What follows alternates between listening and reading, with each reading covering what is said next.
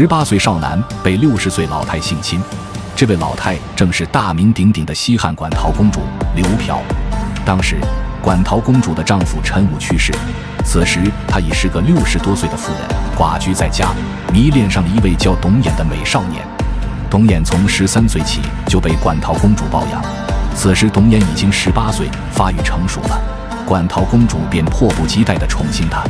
虽然对面是六十多岁的老公主，奈何身份尊贵，董衍也只好顺从。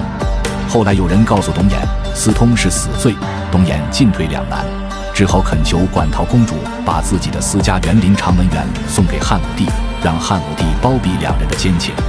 馆陶公主便答应了。后来，董衍又劝馆陶公主装病，引诱汉武帝前来探望。汉武帝到后，馆陶公主便拉着董衍一起拜见汉武帝。汉武帝见到董衍后，心花怒放，当即赐给他上等衣冠，尊称他为主人翁。这便是“主人翁”一词的最早由来。从此以后，汉武帝也经常召董衍入宫伴驾，与董衍玩各种游戏。汉武帝非常开心，史称“上大欢乐之”。后来，在东方朔的弹劾下，汉武帝便疏远了董衍，董衍抑郁而死。董衍死后不久，馆陶公主也不活了。